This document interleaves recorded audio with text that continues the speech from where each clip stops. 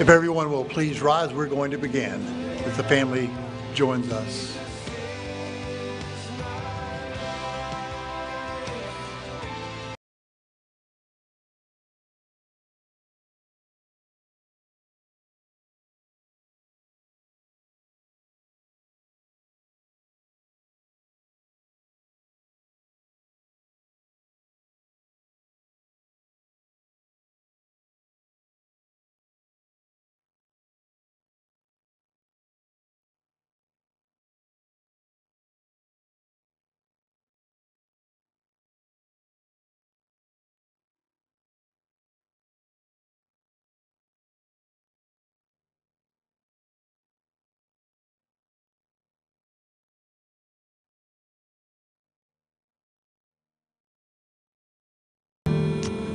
Be seated. This afternoon, we are gathered together to remember and celebrate the life of Bruce Spencer, a man some of you knew as dad, a man known as husband, a man known as grandfather, great grandfather, uncle, mentor, friend. Bruce was a man that we know lived a long and lived an adventurous uh, life. I'm sure that many of you could tell many stories uh, of the adventure and um, just, just the, the stories that can highlight many of his best characteristics. But the thing that I think, as I think about Bruce, that characterized his life more than anything was his love for God, his love for his Savior, his love for the gospel. And so, as we gather together this afternoon, uh, we want to celebrate Bruce's life. We're going to hear some of his favorite scriptures read. We're going to hear some of his favorite songs sung. We're going to sing them together. We're going to hear from some of his family and friends. And all the while, we're going to hear these things, remembering his and our wonderful, life giving Savior, Jesus Christ, as we celebrate and cherish the gospel together this afternoon. So let me lead us in a prayer. Let's go to the Lord in prayer now as we begin our service. Father, we thank you for your mercy and grace shown to us. Lord, your mercy, grace, and comfort shown to us even in the midst of grief and great loss, even in the midst of uh, grieving death and the loss of a loved one in our lives. Lord, you promise us in your word that you will bestow great grace, great mercy, great comfort as you are the God of all comfort. So we pray now as we gather this afternoon, as we hear stories, as we hear the gospel, as we sing the gospel, as we have this celebration of life service, we pray, uh, Lord, that Bruce's memory would be honored and that you, our great God, would be glorified for all that you are. It's in Jesus' name we pray. I'm going to ask you to stand with me now. As you stand, we're going to sing a song together in Christ alone. And before we do that, I want to read one of Bruce's favorite verses. John 3:16, "For God so loved the world that he gave his one and only son, that whoever believes in him shall not perish, but have eternal life." So stand with me if you will. We'll all stand together. Kevin and Pam are going to lead us in singing together in Christ alone. There's one thing that God's people do, and they do it all the time, and they do it in the most difficult times and the happy times, and that's sing. So let's sing like it really matters to us. In Christ alone, my hope is found. He is my light, my strength, my song.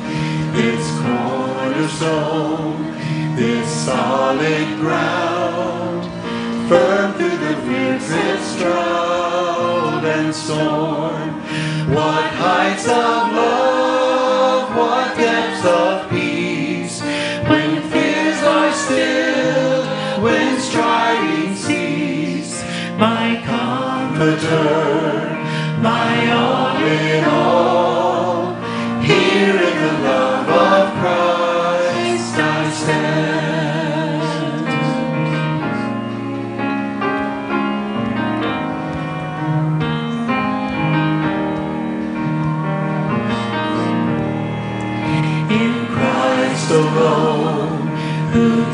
on flesh, fullness of God in helpless babe, this gift of love and righteousness, scorned by the ones he came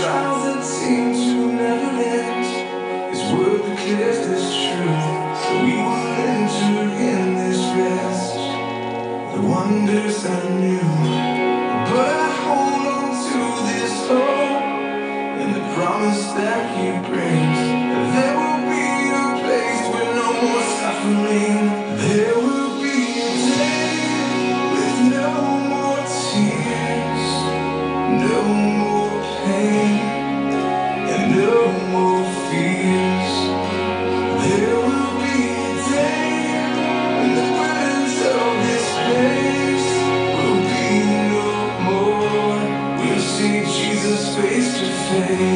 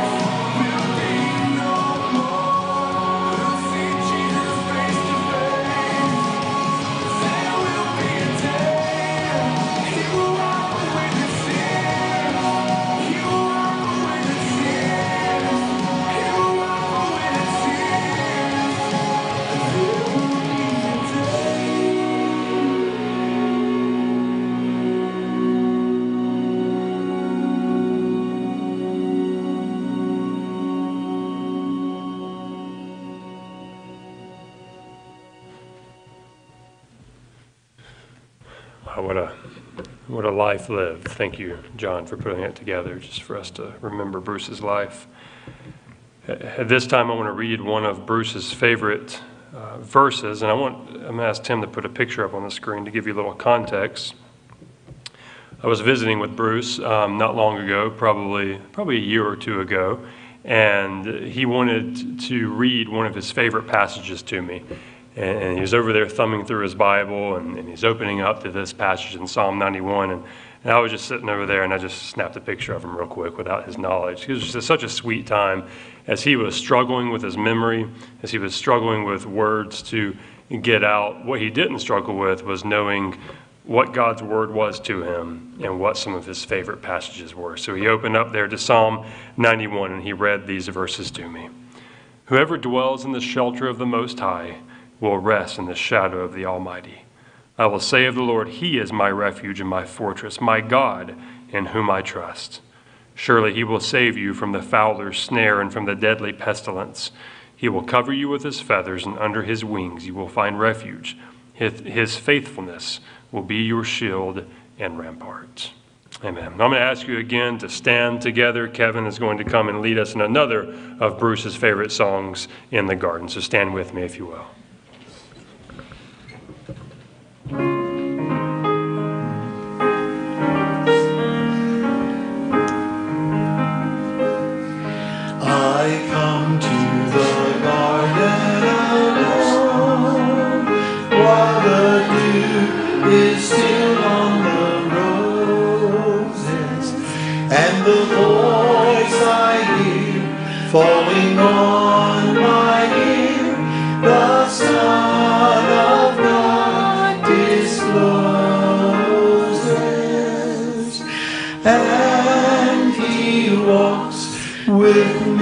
and he talks with me and he tells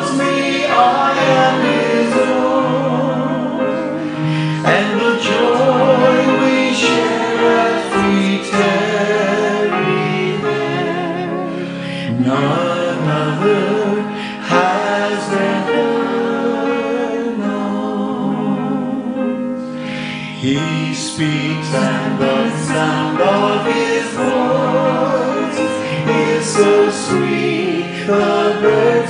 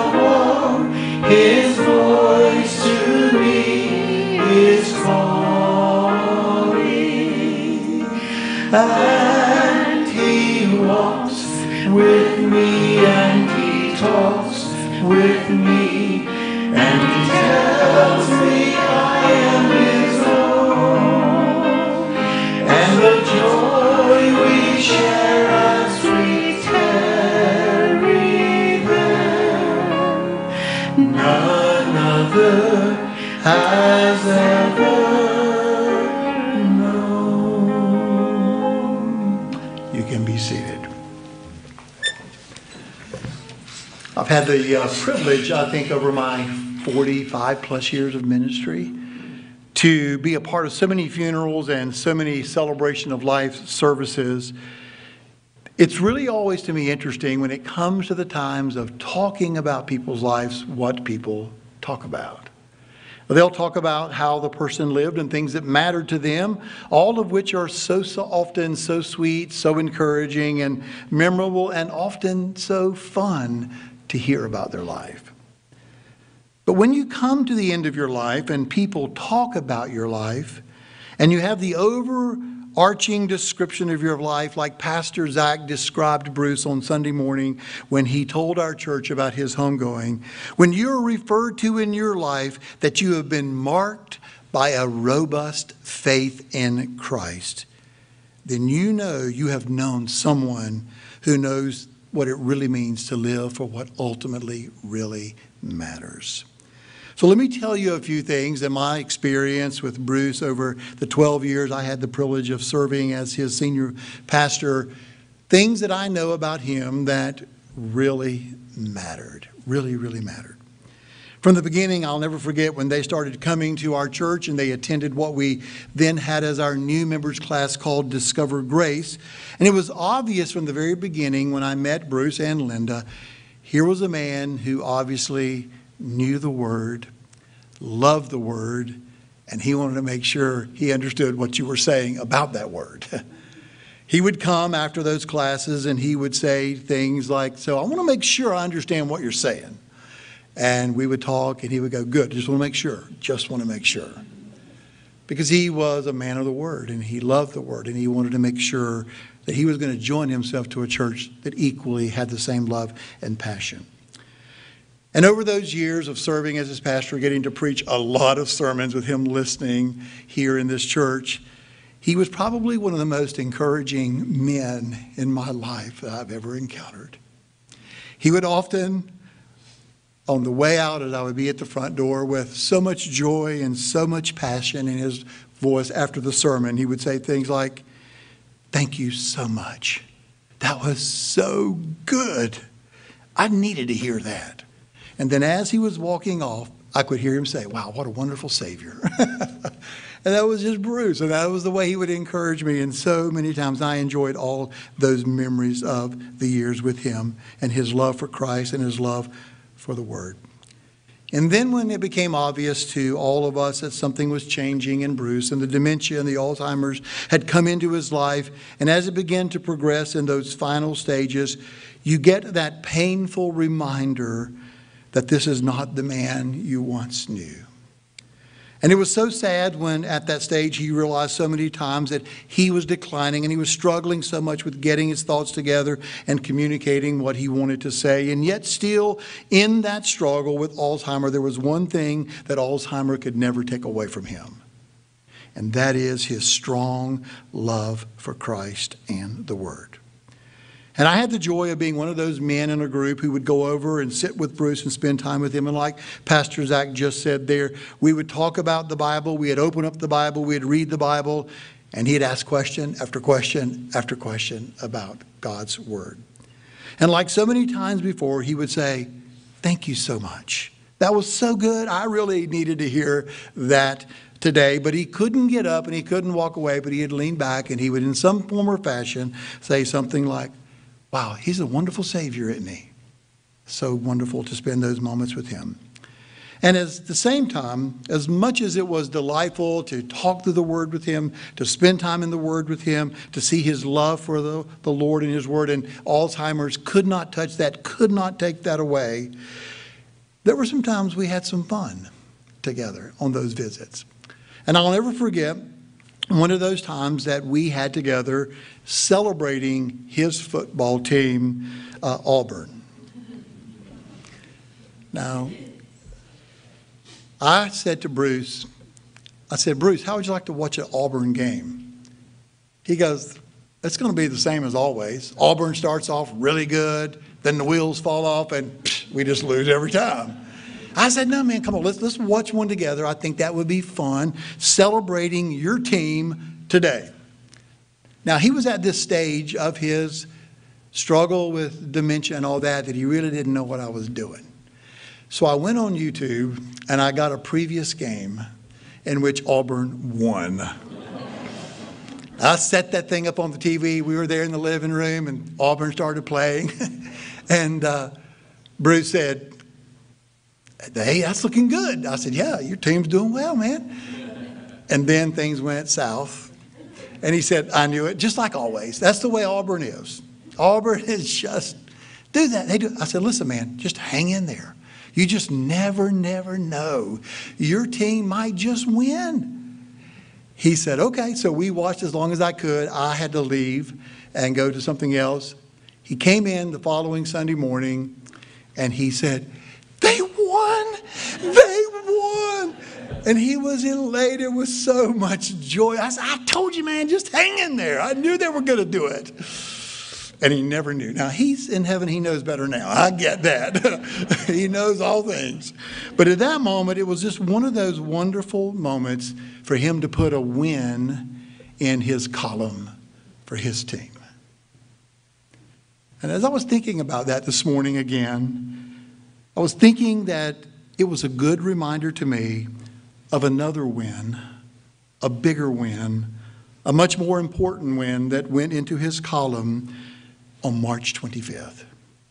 On March 25th, that day, Bruce went home to be with the Lord. On that day, the man we had all known and loved, and we saw the declining effects of death at work in his life, his body wasting away. On that day, when he laid aside that earthly body and he went to be with the Lord, that was the day he really won.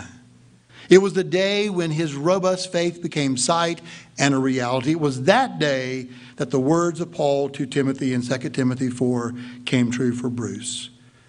I have fought the good fight. I have finished the race. I have kept the faith.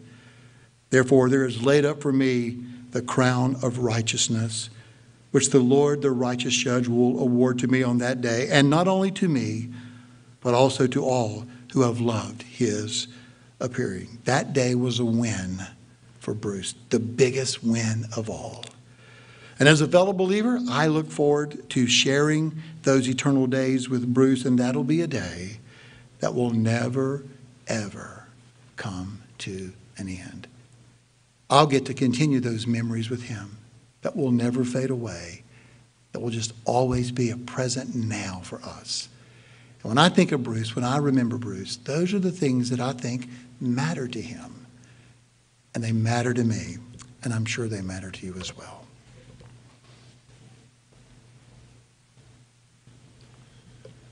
I'm going to ask Bruce's son, John, to come at this time and share a brief word.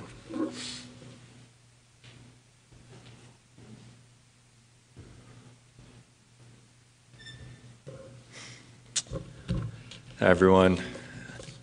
As you uh, may know or could guess, uh, Bruce was my dad. Um, there were three things that he cared most about in this life that was his faith, family, and his friends. His faith is really the cornerstone of his life. It's what marked his life from ever since I can remember um, through the really, really good times and the really, really hard times. Um, he never wavered. He, he always has been and was a, a Christian man, a Christian father, Christian husband, um, Christian granddad.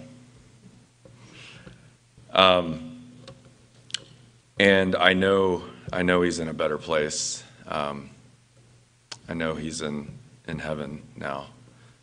Um, and that is, that's so, that gives me strength, to be honest, to go through this really hard time. Next is his family. Uh, Linda, just, he loved her so much. He would tell me, you know, Linda's my angel.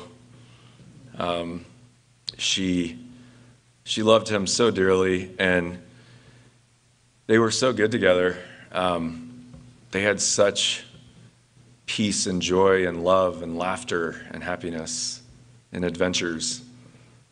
Um, and he would always tell me how lucky he was and, and how just amazing their life was. A little bit about dad. He, he loved adventuring. I think some of you guys may know that. Um, whether it was, you know, cheering me on in a soccer field, um, we would go skiing together, something I love to this day. Um, I've taken him paddling through rivers and climbing mountains. he's climbed a lot of 14ers in his life when he came out to visit me in Colorado. And um, he stayed with me for about a month one time, and he climbed as many as he could in that month. That was just him. um, in terms of his kids, me and Jen, he loved Jen so much. You're the apple of his eye. He would always talk about how amazing, how beautiful, how wonderful you are.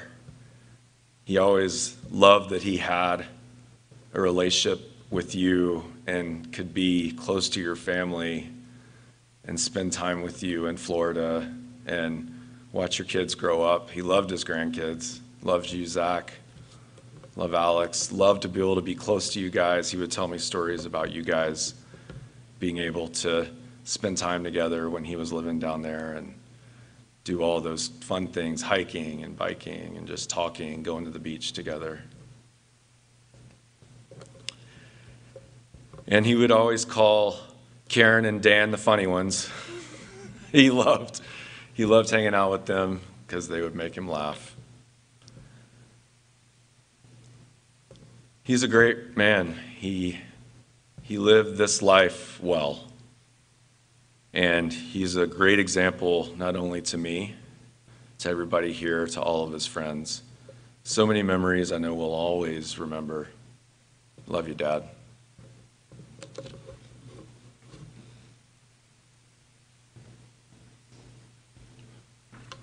Thank you, John. The family would like to open the invitation for anyone who may like to come and to share any brief words of stories or encouragement, any memories that you may have of Bruce. You may not have any, and you may not feel comfortable coming, that's okay, but we, we, we did want to have that time. So is there anybody that would like to come at this time and share any stories?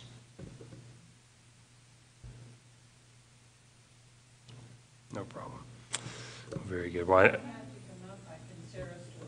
Oh, yeah, well, if, if you can talk, what, you, would you mind coming up? Because we are, we're, we're live streaming for people that aren't able to be here, and that's the only way they'll be able to hear you. Okay.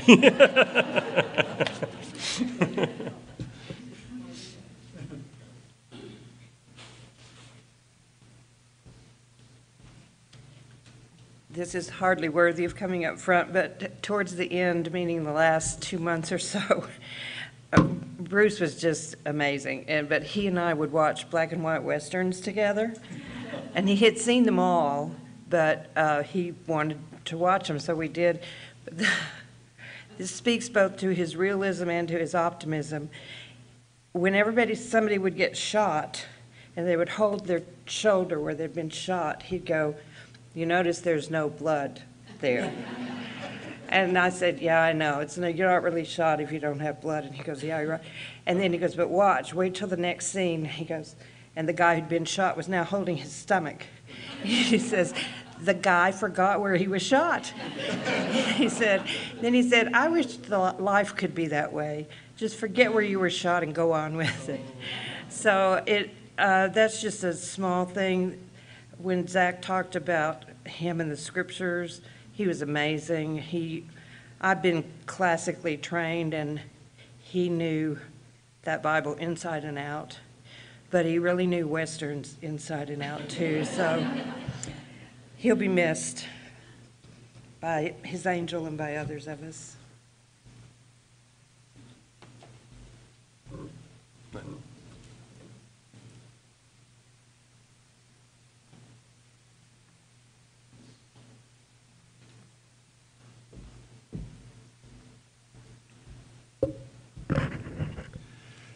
Bruce was a dear friend of mine, and I was, I'm a better person for having known him.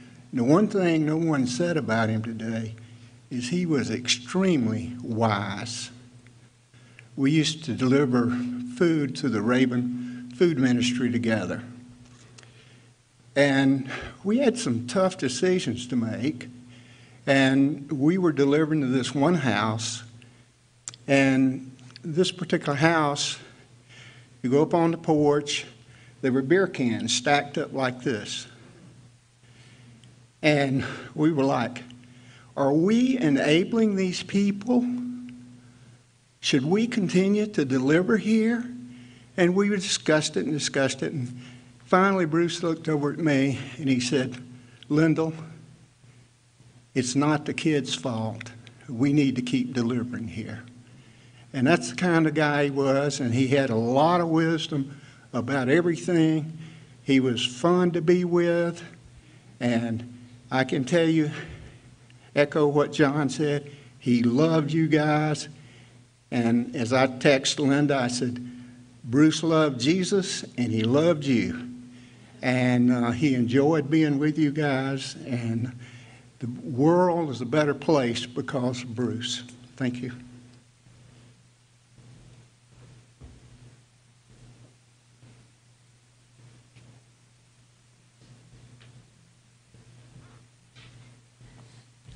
I got the privilege of helping take care of Bruce, and I knew Linda and Bruce from church, but not like I knew them after seven months of being in their home two times a week.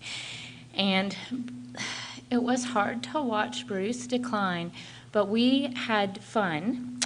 Um, Snapchat, Bruce had never, ever played with before. And one particular day, he was being a little, you know, ornery. And I said, Hey, Bruce, let's try something. He's like, I don't know. And so then I did the first one, and he's like, That's crazy. And then we'd do another one. And before it, he was belly laughing. And so it was easy for me a lot of times to distract Bruce when he would get repetitive or he'd want to know, Where is Linda? then we'd go put extra bird seed in the bird feeder. That was his one job. When he couldn't do anything else, he was like, did Linda fill up that bird feeder? We better go check it. So we would, and we'd walk up the hill, and I'm kind of an herb nut, and so I would be looking at the weeds when we're walking up the hills, and he'd go, Well, what's that one called? And what's that one called? So he's like encouraging me, and I just, I had fun learning things about Bruce and about you guys. I didn't even know how many kids he had or anything, but he talked about you every time I was there. His grandkids, he'd want to walk over to the pictures, and when he couldn't sometimes remember, then he'd go, "Oh yeah," because I knew your names, and I would give him hints, and then he would remember. And and Linda, you you were it. I mean, he loved you, and so I know there were days you were like, "I know he loves me." but he's not being very nice. And that's the hard side of watching someone be sick. But Linda, you are an angel, and, and you did something that's really hard to do, and I commend you very much. And I know Bruce had the best care because he had you. So thank you for letting me be a part of y'all's journey at the end. And he really did love the Lord. And when he couldn't find those verses anymore, he would let me read them to him. He'd say, just read the Psalms just read the Psalms because he sure loved those. Thank you.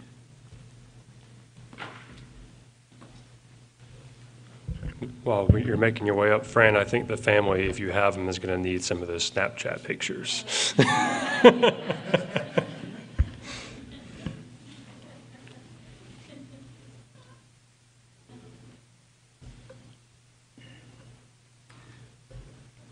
Well, um, I've known Bruce for, it seemed like ever.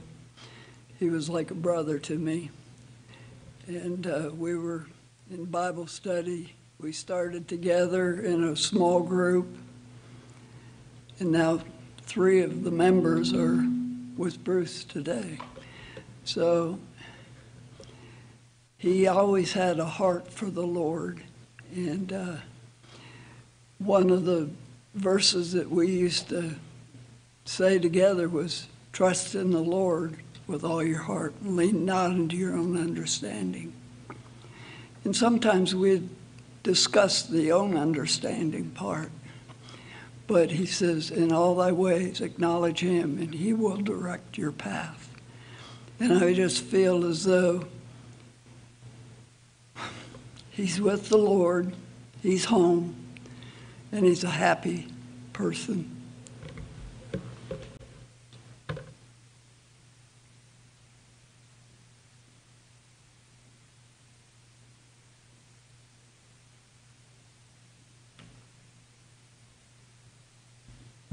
I'm Bob Bro. I'm uh, Bruce's neighbor. we hiked together. We twice went up to Rabun Bald. There's a fire tower up there where you could see 360 degrees. Um, when I first met Bruce, I didn't realize how tall he was. We hiked a thing called uh, Moccasin Creek, and I was ahead of him, and a small branch had fallen across the trail. I walked under it, but Bruce hit his head. So then I realized he was taller than me. And we, we also kayaked together, and I remember he went to step in a, a kayak and he dropped his phone in the water.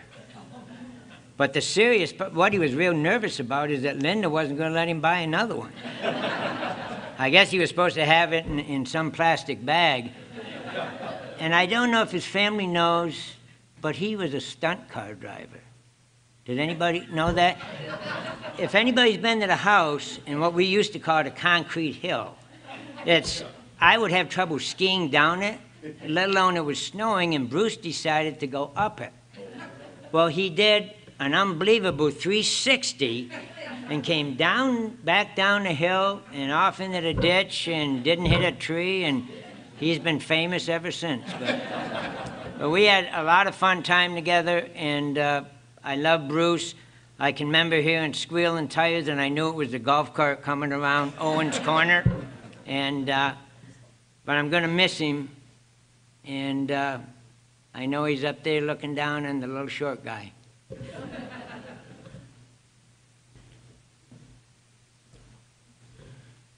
Thank you all so much for sharing your memories. I know that's a, a special thing for, for all of us to hear and for the family especially. Before I come and share a few words with you before we end our time together, um, uh, we had one more song that Bruce loved that we're just going to listen to. So stay there. The lyrics will be on the screen, and uh, just listen to the lyrics of these uh, this song that Bruce so loved and cherished.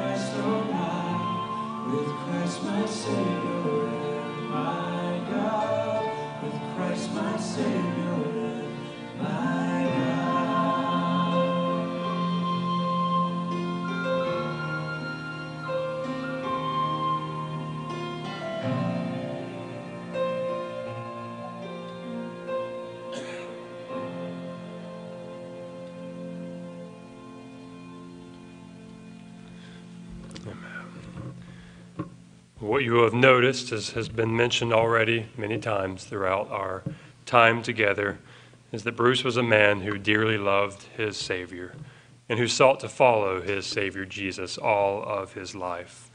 You know, I was just telling someone yesterday what a joy it is to be able to preach at the funeral of such a man.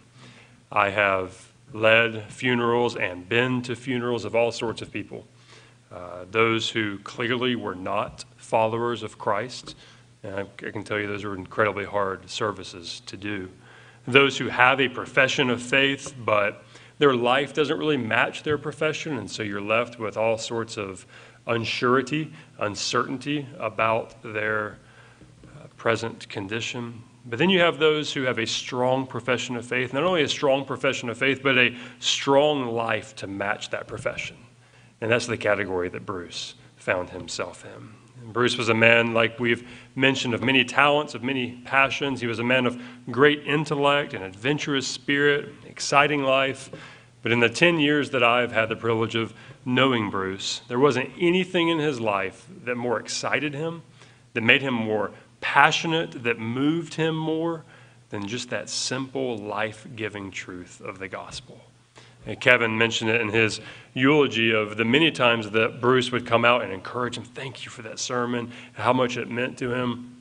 I, in my latter years of knowing Bruce, as his mind did begin to slip, as the dementia began to take over, I'll never forget the countless times, Sunday after Sunday, as I stood at that door, as he struggled to gather his thoughts, as he struggled to communicate what he wanted to say, he would come to the door to me with tears either in his eyes or tears streaming down his cheeks, just saying things like, What a Savior we have. I can't believe Jesus did that for me. I can't believe the love of Jesus shown to me. Even in the height of his Alzheimer's taking over, he was moved by the truth of the gospel. And it's that gospel that I want to close our time considering this afternoon. I know in talking with Bruce before his death, I know in talking with Linda, neither of them would let, want me to let you go this morning, to let you out of this room without hearing that life giving gospel that brought Bruce such joy and that changed and transformed his life. In the Gospel of John, in chapter 14, Jesus makes it clear what that only source of life is, what our only source of hope is. And Jesus says this in verse 1 Let not your hearts be troubled. Believe in God, believe also in me. In my Father's house are many rooms. If it were not so, would I have told you that I go to prepare a place for you? And if I go to prepare a place for you, I will come again and I will take you to myself, that where I am, you may also be. And you know the way to where I am going. Thomas said to him, Lord, we don't know where you're going. How can we know the way?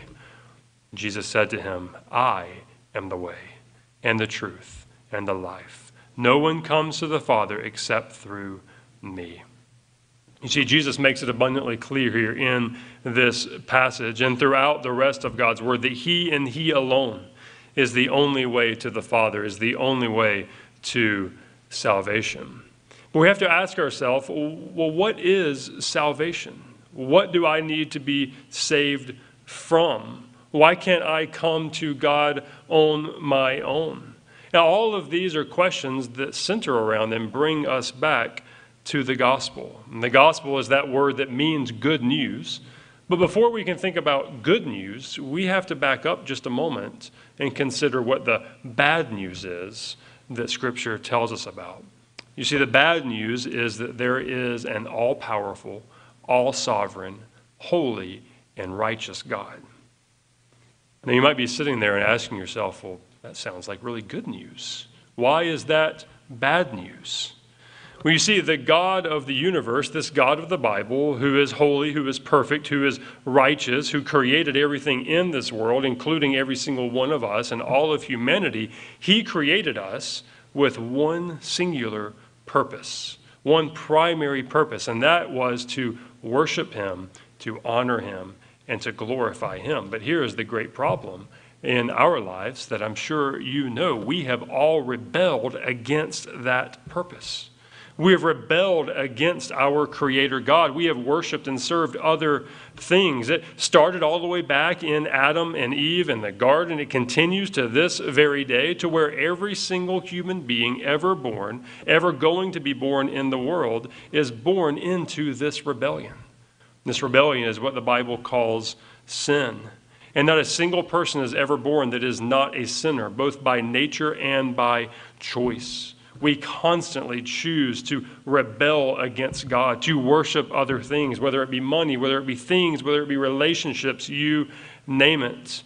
Now, Paul says in Romans 1:21, although they knew God, they did not honor him as God or give thanks to him, but they became futile in their thinking, their foolish hearts were darkened. And you see, the bad news is that because of this rebellion, because of this nature, because of our choice, every single one of us are separated from God. Paul again in Romans 3:23 says that all have sinned and fallen short of the glory of God. It's not as though we live in a world where there are mostly good people and a few bad apples. It's not as if most people are good and there's a few bad people out there.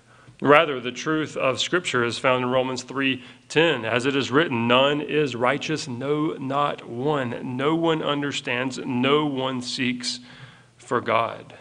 And so that is the bad news of Scripture. Because of our sin, because of God's righteous, holy, perfect character, there is this eternal chasm, this eternal separation between us and God that no man can ever cross. There's no amount of good deeds. There's no amount of being a good person. There's no amount of sorrow for sin. No amount of anything that you or I do that can close that gap between us and God. Left on our own, the sad, the solemn truth of Scripture is that every single one of us will suffer under God's wrath for eternity. And I hope you understand that that is bad news. And as we are at a service like this, reflecting on life, reflecting on death, reflecting on the brevity of life, reflecting on what matters most, we need to not skip over this point. We must come to grips with who we are before God. We, we must not be self deceived. We need to understand who we are. We need to understand the sinners that we are, what we deserve, and what we deserve is fully to receive God's judgments. And listen, I can promise you through countless conversations with Bruce, Bruce knew this. Bruce knew this and Bruce believed this. And I believe 100% that Bruce would want each and every one of you this afternoon to reflect on that truth. But listen, thankfully, thanks be to God, that is not where the story ends. You see, Bruce knew the bad news. We know the bad news, but he also cherished the good news as well. You see, in light of that bad news, the good news is that God, in His free grace and mercy, chose not to leave that story there. He spanned that chasm that not a single one of us could span. He sends his son, Jesus, that perfect God man, to live a perfect life that none of us could ever live, to die a substitutional, sacrificial death on behalf of his people. Paul tells us in Romans 5 8, God shows his love for us in that while we were still sinners, Christ died for us.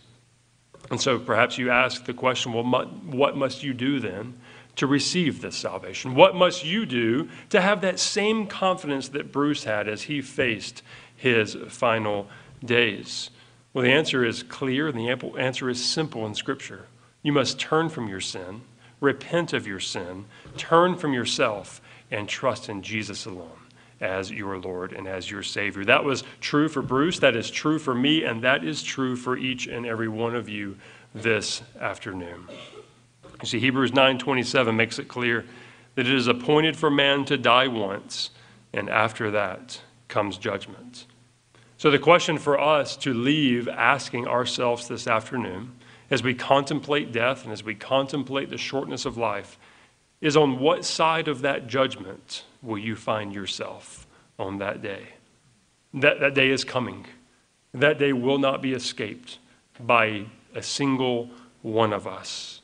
Either we will trust in ourselves, we will trust in our own goodness, we will not give God the honor and glory that is due his name, and on that day we will receive judgment and wrath. Or we will turn in this life from our sin, turn to Christ, trust in him, receive his mercy, receive his grace, and receive eternal life. Listen, these were the gospel truths that Bruce cherished in his life. And these are the truths that I believe, I trust, were on his mind even unto the end. And I believe that he would want these things to be on your minds this afternoon as you leave this place. So, listen, we, we gather together, we grieve the loss of Bruce. And listen, I want to encourage you, especially family and close friends, it's right to grieve. It's good to grieve. Death is awful, death is our enemy. We should not look at death, we should not face death and have some sort of weird happiness, right? Death is bad. And we should grieve the loss that we have in this life. But listen, as I reminded the family before we came in this morning, as Paul says in 1 Thessalonians, we grieve, but not as those who have no hope. You see, the world grieves death with a hopeless grief because that's all there is for them. This life, it ends, and there's nothing else. All hope is gone. But we, as God's people, we, as God's people, we grieve death with a hope filled grief. We were sad over the loss of such a treasured man in our life, but we're hopeful knowing that death will not get the final say in Bruce's life. Jesus will return one day. Jesus will ultimately defeat death, and Jesus will one day raise to life those who, like Bruce, have trusted in Christ for their salvation, and he will live and reign with his Savior for all of eternity. So listen, as we leave this afternoon, let's, let's grieve, let's process the loss that we have in this life, but let's grieve with hope. Let's grieve with hope, knowing that Bruce is free from the pain that plagued him so awfully in those final days of his life. And let's grieve with the hope, knowing that one day in the future, his body will rise together with all the saints into eternal life with his Lord and his Savior. Let me close us in a closing prayer before we sing a final song to end our time. Father, we thank you so very much for the hope that you give us in your word. Lord, we do not gather this afternoon and walk away hopeless. We do not walk away with, with no hope whatsoever, uh, thinking about death and thinking about sin and thinking about our enmity against you. But we walk away able to be filled with hope because of what you have done for us by your grace, by your mercy in Christ. And Lord, we thank you so much for your grace extended to Bruce. Lord, we thank you for the life that he lived. We thank you for the legacy that he passes on. We thank you for the memories that we are able to cherish of him in this life.